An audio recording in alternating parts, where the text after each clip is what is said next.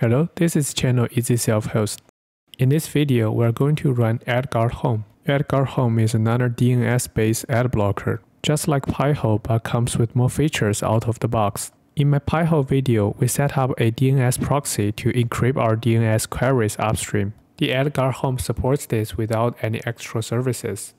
Now let's get started to run it using Docker Compose like always. Here is the Docker Compose file for the AdGuard Home.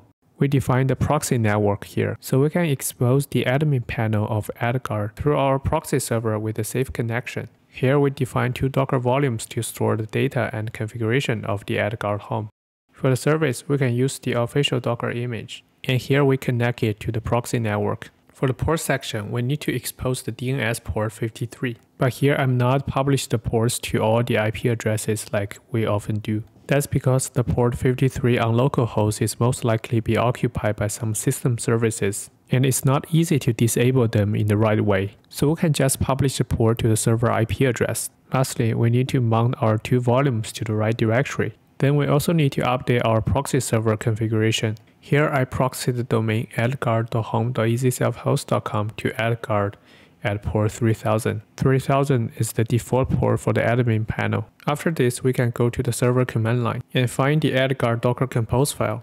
And from here, we execute docker compose up -d to start the service. Besides this, let's not forget to refresh our proxy server configuration. We can simply just restart our proxy server.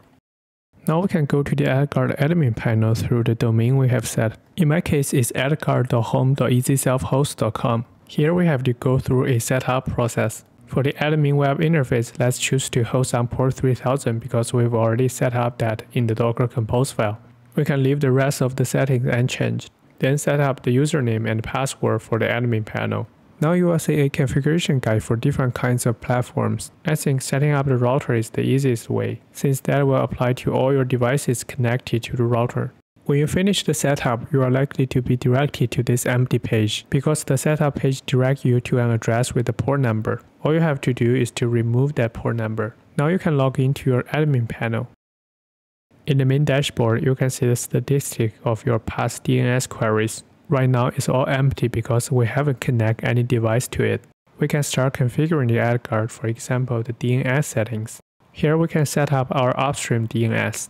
AdGuard supports DNS over HTTPS out of the box if you put an upstream that supports it. You can find a list of DNS providers through this link. Personally, I'm using Cloudflare and Google in a load balancing way. As an ad blocker, of course you can configure a list of domains you don't want to access. Here, the default is the AdGuard DNS filter. We can use a domain name in this list to test if the AdGuard is working. Let's choose this short adx.ws domain. In the command line, we can use the dig command to test DNS. For example, if we just type dig and the domain, it will get the DNS record based on your default DNS setting. In this case, the DNS gives back an actual IP address.